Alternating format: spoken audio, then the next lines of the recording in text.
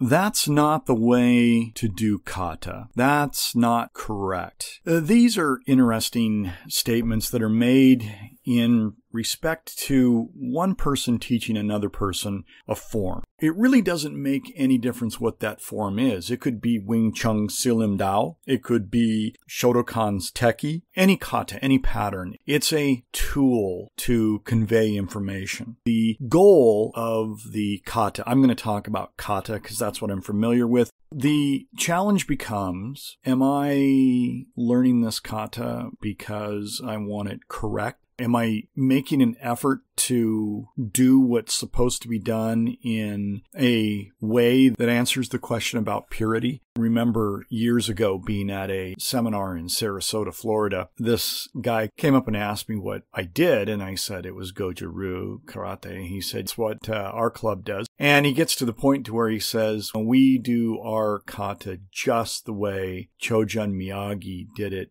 before he died, which I thought was really an interesting statement because I would submit that it's impossible. It can't be done. You cannot have information conveyed like that and have it be specific. You can get the general points, you can get the trajectory. The first thing to go are the edges of the idea and you can look at almost any oral tradition in passing on of mythologies, and the stories change. But the core of the story remains the same. You can look at Greek mythology. One demigod sprouted from the belly of this Titan, or another version might be that they were born. You get the idea. It's a general area, the belly, the reproductive organs. You can see how the edges are the things that change. When this guy's telling me that he's doing his karate purely, you know, I, I smile. I smile and nod.